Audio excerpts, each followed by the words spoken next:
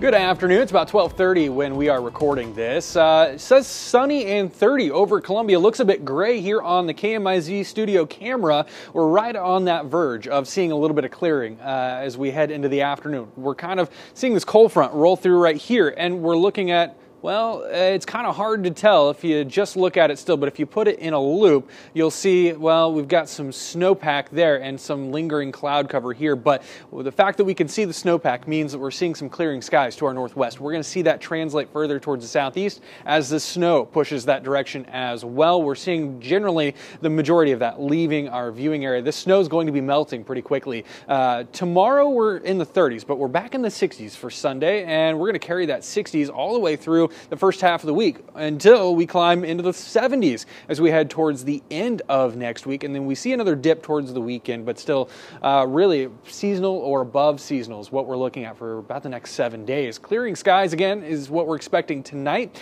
Uh, we'll see temperatures drop out of the 30s pretty quickly into the teens by early tomorrow. Cold settling in nicely as this Arctic high drops in from the north. It'll keep winds fairly calm as well until we get to Saturday afternoon and evening, where we're starting to see more of these wet red streamlines pick up, and that'll bring in more warmth. Not in time to save our temperatures for Saturday, but it will set us up nicely for Sunday. So, Sunday, we're seeing temperatures starting in the low 30s, maybe mid 30s, and then we jump from there back into the upper 50s and low 60s for highs. We're warming very quickly for Sunday. Monday, we're talking our next chance for rain. Uh, we're really looking dry until then. Monday morning looks like we'll stay dry, but we will pick up a front that passes through. That'll bring us a chance for some there. Otherwise, we're looking at a generally dry next seven days and a warm seven days as well. Beyond seven days, six to ten, we're looking at generally above average temperatures still coming down the pipeline. As we head into the next two weeks, the next eight to 14 days, we kind of stay in that above average zone. So